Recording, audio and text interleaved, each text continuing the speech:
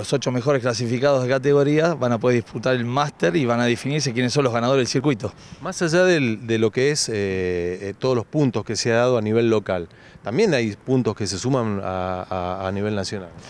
Mirá, es un referente. Nosotros hacemos un ranking que es eh, provincial y esto nos ayuda a tener un ordenamiento dentro de la provincia y de la región, porque participan también gente de Salta, ha venido también de Tarija, digamos, de, eh, de Bolivia, y este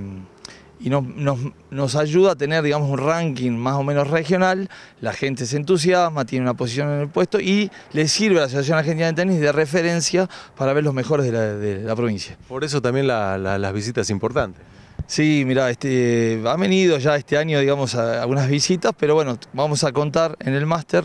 con la- una presencia, bueno, ya esperada de hace un tiempo, que es el director de desarrollo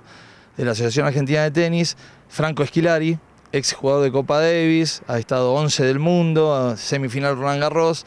y bueno, eh, le hemos planteado la posibilidad que venga a ver los mejores referentes de Jujuy, como nunca había venido en, este, a esta provincia, no la conoce, me dijo sí, con mucho gusto, enseguida este, estuvo este, abierto a esta posibilidad, así que va a estar llegando el viernes 7 por la mañana hasta el domingo 9 por la noche, se va a quedar este, por supuesto a ver las finales que son televisadas por Canal 7 y bueno, y a- armando una clínica para este, poder observar los mejores chicos de la provincia y llevarse, digamos, una, una buena expectativa de lo que es todo esto. Eh, son tres días, 7, 8 y 9 de diciembre en el Club Tiro.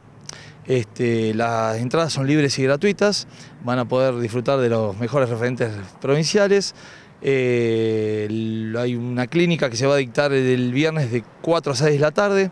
con Franco Esquilari que va a observar a los chicos diferentes escuelas. Va a haber una charla para profesores, una charla para padres.